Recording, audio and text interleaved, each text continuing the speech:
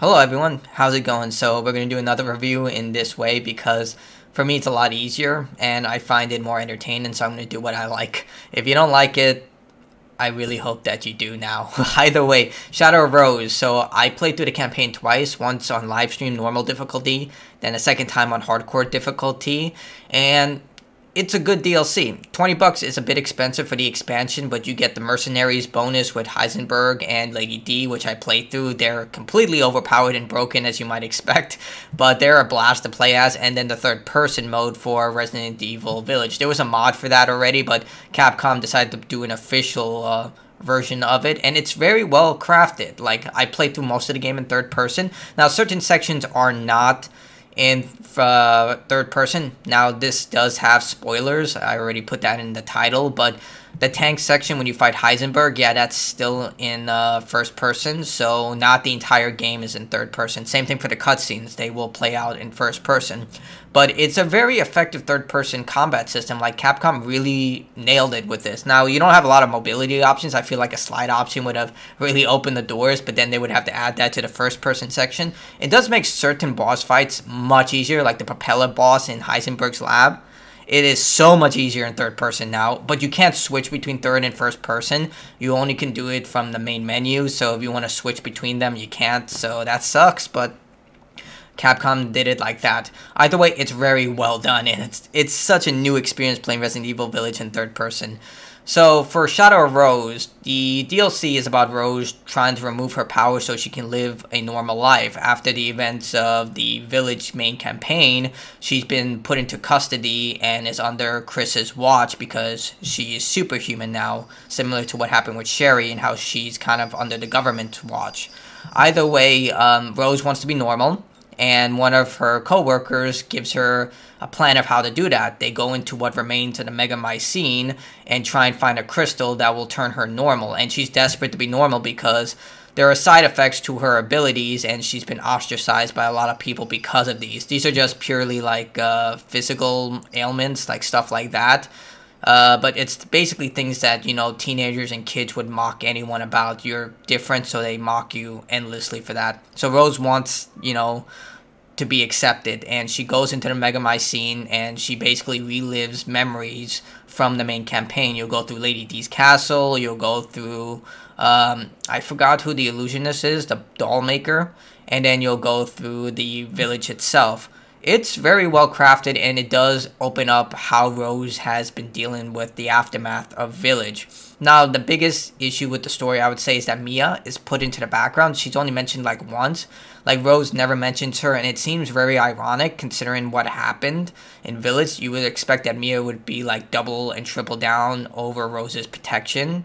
But especially, you know, uh, what happened to her in the Village campaign, and, you know, it should play that way because of how she protected Ethan, knowing who he was and, you know, him being part mold. But it's just a bit weird. Maybe they would bring more context to that, but unfortunately, this is the ending for the Winter Saga. Uh, it does end on a high note, I'll say that, but I hope they bring Rose back in the future. She is a very likable character. I like her a lot.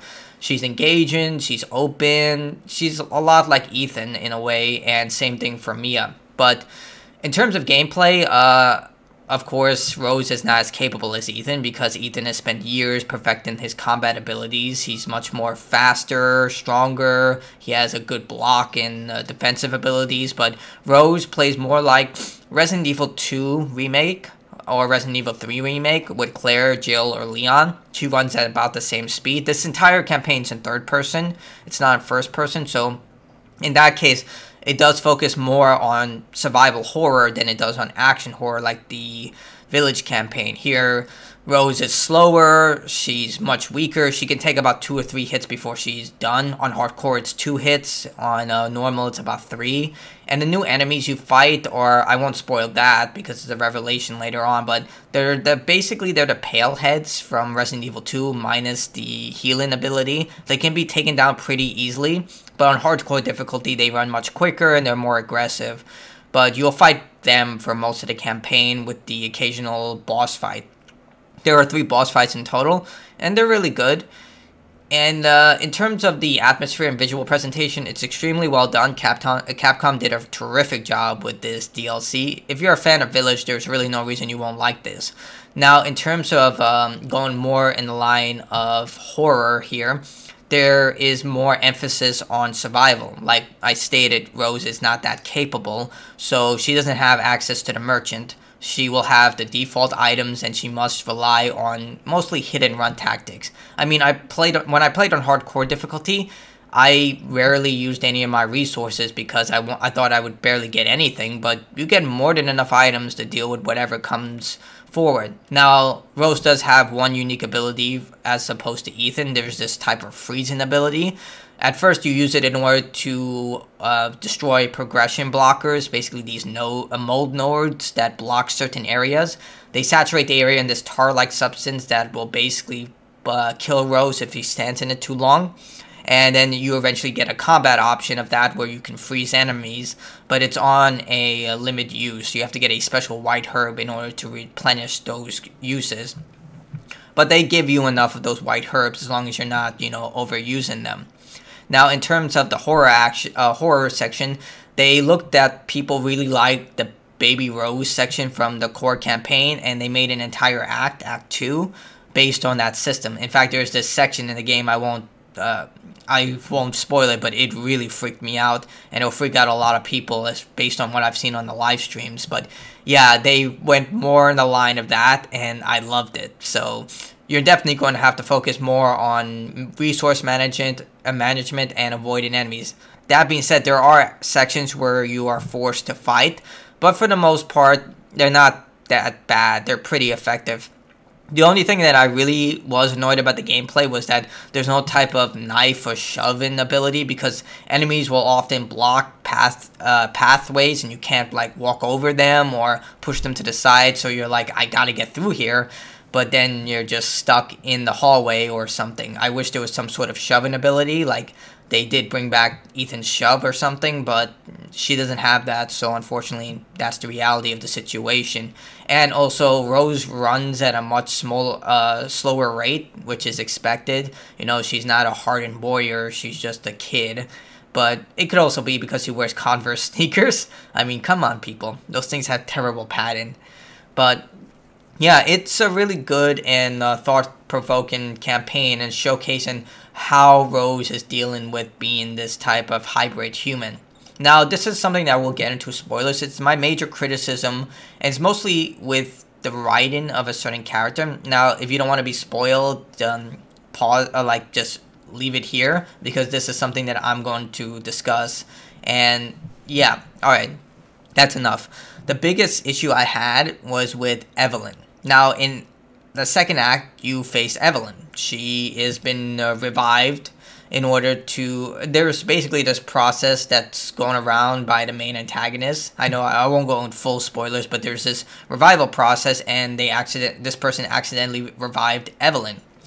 And then Evelyn is just trying to, you know, escape the Megamycete to get her family. You know, she's basically Resident Evil 7 all over again but I felt like they could have had a redemption arc for Evelyn because at its core, like Evelyn was a monster, but she was also a kid and she was a victim just like everyone else by everything that transpired. She was a victim, and I felt there was an opportunity for them to like give her some sort of redemption arc where uh, there's this after you beat her in the boss fight, she opens up about how alone she is, how she wishes someone loves her, how she feels so useless and pathetic. And that's why she hates Rose because she's like, her and Rose are in the same boat. Like, both of them are isolated, they don't have that many friends. But unlike um, Evelyn, Rose had Mia and even Chris. Chris would be considered family to her.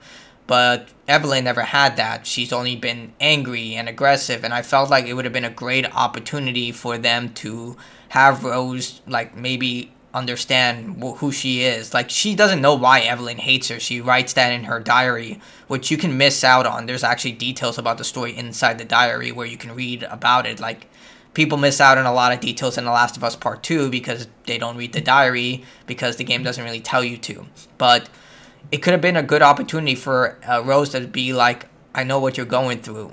I'm I'm alone too, but we don't have to be. You don't have to be alone like tell me what's wrong. And then she could have broken down and cried and told Rose everything. And then Rose could have been like, I'll be your friend, you know, in some, in a common way. And before they split off. And then by, when you fight the end boss, Evelyn decides to come in some way and help Rose, stating that she's her first friend and she's going to do her best to help and dies in the process. I know that's that's just my take, you know, to give Evelyn a type of redemption arc because I felt like she's just a one note wonder in the sense that she just comes back to just attack and project her anger of everything that happened to her. And this would have been a good left field take of her redeeming herself in the sense that she doesn't need to be angry that if she opens up that maybe she can be you know part of something. And her sacrificing herself to help rose would have been that more profound to show that there is redemption in this and she didn't have to be who she was if she was given certain opportunity. At least that's how i would have done it because to me it just it, it was really heartbreaking to see evelyn in that state because knowing what she went through, everything she's done. It doesn't excuse what she did to the bakers and everyone, you know, the people who were kidnapped and forced into those mold experiments, but you know, some way to make her into more than just the angry, sad little kid who just wants a family, you know, give her something. But that's how I would have done it. The DLC does end on a high note and like uh it could open opportunities to bring back Rose, but Capcom already stated that this is the end of the Winter Saga. But I would love to see Rose and Sherry like to come back as a team. That would have been freaking awesome. Or you know, Rose come back and uh, fight alongside Chris or in some way. But it does seem that Rose's story ends here because she has nothing to fight for anymore. Like for the most part, everything is ended her family's left in peace. They have a final goodbye and everything. Mia's still alive, but we don't know where she is because they don't really mention her and where she's uh, gone. But yeah, it's a good ending. It gives uh, Rose enough opportunity to grow and showcase that she's uh, a different person and her struggles, while at the same time providing us with a pretty eventful campaign with a solid ending. And as I stated, for $20, you also get the mercenary mode where Lady D and Heisenberg basically are overpowered juggernauts who just wreck everything. And They're a lot of fun to play as. You know, you just play as them and they just wreck everything. And then we also have the third person mode for the core campaign, which is definitely worthy exper- worth worth experiencing because it does make the campaign different in a lot of ways. Not not everything is in first person. The cutscenes still play out in uh, first person, and uh, the tank battle against Heisenberg is also still in first person but it's a really good um, it's a really good option. Now you can't switch between third and first person. You have to do that from the main menu. Not really sure why. Maybe there's some sort of technical reason behind it. But certain boss fights do become easier in third person, like the Propeller Man. Way easier in third person because you can actually see what's going on. And for the most part, it's a very well done option. Like Capcom really went above and beyond. Ethan still performs extraordinary. Uh, the third person combat is very well done. They clearly know what they're doing with all this stuff, and yeah, it's a lot of fun. Like I would highly recommend it. Uh, replay the campaign in third person is a brand new experience. Either way, that's my uh, conclusion on Shadow of Rose. If you like the main campaign, this is really a no this is really just a must buy. It's very fun, engaging. I love the campaign. It's only about two hours long. It took me about two hours and 15 minutes on hardcore. And my first playthrough, I took two hours and 30 minutes.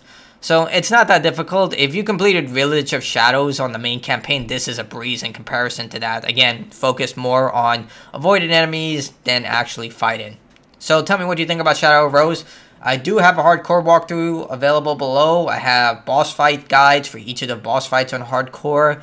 And I might be doing an end and explain. We'll see. It doesn't really seem like I should because it's pretty self-explanatory, but why the hell not? Either way, tell me what you thought. Like, subscribe, comment. Consider supporting me on Patreon. All that stuff is linked below, including my Twitch channel. Like, dislike it if you dislike this video. You know, feedback is always welcome. And I will see you all next time. Stay awesome, everyone.